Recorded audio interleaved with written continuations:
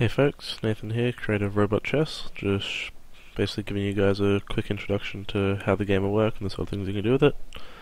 So to start off with, this is our menu. Here's our hand. You can move it around, all that sort of stuff. Um, to select something, just tap it with your hand. Look up, do a fancy animation thing. Alright, so here we are in the game.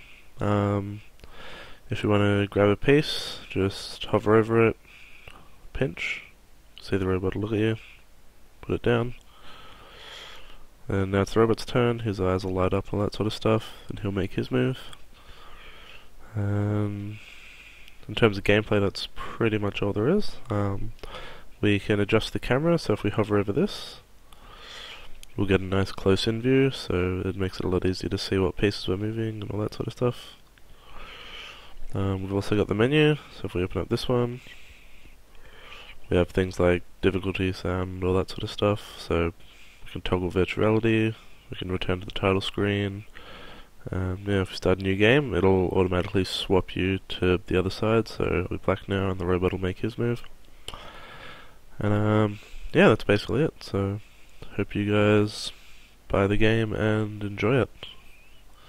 Catch us later.